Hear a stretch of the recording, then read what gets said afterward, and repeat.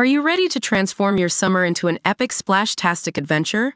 Say goodbye to wasteful, single-use water balloons and hello to the ultimate in reusable, eco-friendly fun with reusable water balloons.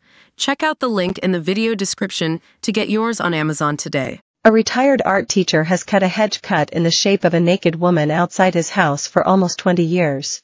Pensioner Keith Tisson, 90, decided in 2005 that he would indulge his love for sculpture by turning the hedge in front of his home into a woman.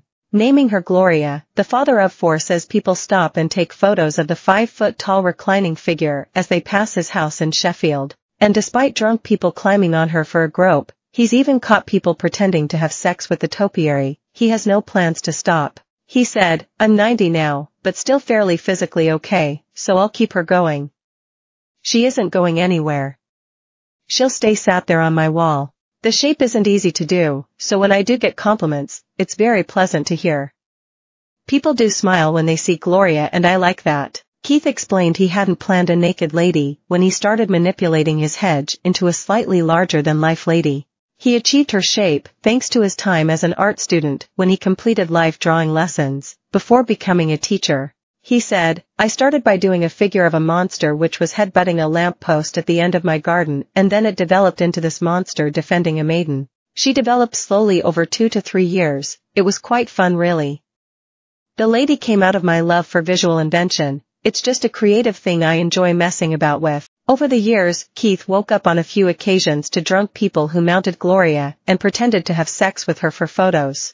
It would annoy Keith as it would damage her shape, but thankfully, he hasn't had any unwanted visitors for a while.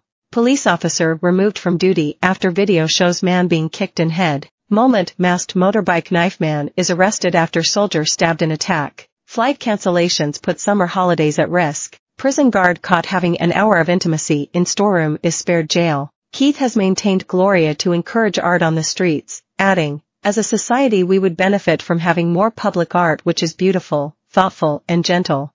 It doesn't have to be hilarious, but thoughtful, gentle humor is a good thing. People do smile when they see Gloria, they don't break into hilarious laughter, but quietly smile, and I like seeing that humor in people's faces. I enjoy having the responsibility of keeping the hedge looking nice, I enjoy being involved in creativity. Get in touch with our news team by emailing us at webnews at metro.co.uk. For more stories like this, check our news page. Privacy Policy